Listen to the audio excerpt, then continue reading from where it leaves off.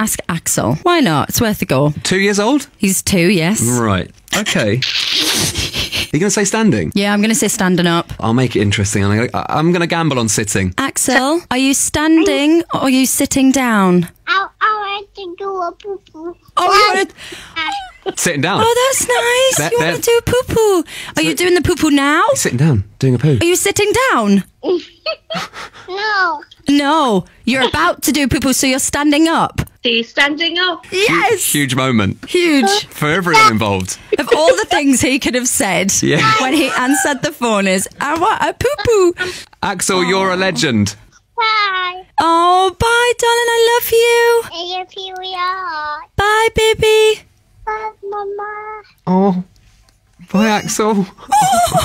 How have you created the sweetest child on earth? That- Everybody says that. he's, adorable. oh my god, I